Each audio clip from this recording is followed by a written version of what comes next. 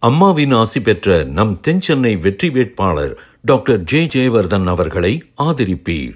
இரட்டை இலை சின்னத்தில். தமிழகத்துல வளர்ந்து வரும் அரசியல் தலைவருக்கும் அவரோட தொண்டர்களுக்கும் ஒரு வேண்டுகோள் மற்றும் எச்சரிக்கையை விடுத்திருக்காரு இயக்குனரும் நடிகருமான ராகவா லாரன்ஸ். தனக்கும் தன்னோட ரசிகர்களுக்கும் நாம் தமிழர் கட்சியோட தொண்டர்கள் தொடர்ச்சியாக தொந்தரவு அளித்து வருவதாக நடிகர் ராகவா லாரன்ஸ் தன்னோட முகநூல் பக்கத்துல ஒரு நீண்ட பதிவை ஒண்ணு பதிவேற்றிருக்காரு. அந்த பதிவுல அவர் என்ன சொல்லிருக்காரு அப்படின்னா இது யாருக்கு புரியுதோ இல்லையோ ஆனா குறிப்பிட்ட அந்த அரசியல் தலைவருக்கும் அவரோட சில தொண்டர்களுக்கு மட்டும் புரிஞ்சா போதும். ரெண்டு வருஷத்துக்கு முன்னாடி நடந்த ஒரு போராட்டத்திற்கு ஒரு நல்ல விஷயத்தை எடுத்து செய்யணும் அப்படின்னு சேவை மனப்பான்மையோட அந்த வேலையை செஞ்சிருந்தேன். அப்போ வந்து என்னை கூப்பிட்டு பாராட்டி இருந்தீங்க அண்ட் அதுக்கப்புறம் எப்பவும் போல என்னோட வேலையை நான் அமைதியா செய்ய ஆரம்பிச்சிட்டேன். ஆனா நீங்க தான் முதல் முறையா உங்களோட மேடையில என்னோட பேரை இழுத்து என்னோட ரசிகர்களையும் என்னோட சேவையும் தரமற்ற முறையில பேசுனீங்க.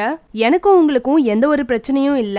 ஆனா எதுக்கு இப்படி பேசுறீங்க அப்படின்னு என்னோட நண்பர்கள் கிட்ட கேட்கும்போது ஒருவேளை அரசியலா இருக்கலாம் இல்ல பயமா இருக்கலாம் அப்படின்னு சொல்லியிருந்தாங்க. அப்போ நான் புரிஞ்சுக்கிட்டேன் அது ஒரு அரசியல் அப்படின்னு. என்னை பத்தி தப்பா பேசிட்டு நீங்க போயிட்டீங்க. ஆனா உங்களோட பேச்சால துண்டப்பட்ட சில தொண்டர்கள் இன்னமும் எங்களை எதிரியாவே பாக்குறாங்க. சமூக வலைத்தளங்கள்ல கருத்துன்ற பேர்ல ரொம்ப தப்பு தப்பான வார்த்தைகளை யூஸ் பண்ணி அசிங்கமாகவும் கொச்சையாகவும் பதிவிடுறாங்க. அண்ட் நான் ஏதாவது பொது நிகழ்ச்சிக்கு போனா கூட அங்க இருக்க உங்களோட சில தொண்டர்கள் அங்கேயும் வந்து தவறான முறையில தான் மறைமுகமா பேசுறாங்க. இந்த விஷயம் எல்லாமே எப்பொழுது நீங்க மேடையில என்ன பத்தி தவறா பேசுனீங்களோ அப்ப இருந்து நடந்துட்டு வருது. அண்ட் இந்த மாதிரி விஷயங்கள் பத்தி நான் கொஞ்சம் கூட கவலைப்படவே மாட்டேன். அண்ட் என்னோட மாற்றுத்திறனாளி பசங்க நிகழ்ச்சி நடத்த எங்க போனாலுமே அங்க இருக்க உங்களோட தொண்டர்கள் பேசக்கூடாத வார்த்தைகளை யூஸ் பண்ணி அவங்க மனசு புண்படும்படி நடந்துக்கிறாங்க. உங்களால எனக்கு எதுவும் பிரச்சனைனா நிச்சயமா அதை பத்தி நான் கவலைப்பட போறதே கிடையாது. ஆனா என்னோட ரசிகர்களுக்கோ இல்ல என்னோட பசங்களுக்கோ உங்களால பிரச்சனை அப்படின்னா நிச்சயமா அதை நான் தாங்கிக்க மாட்டேனும் அண்ட் கூடவே அந்த பதிவுல என்ன சொல்லிருக்காரு அப்படின்னா நடனம் நடிப்பு அப்படின்னு இது ரெண்டுத்திலுமே நான் ஜீரோவா இருந்தேன்.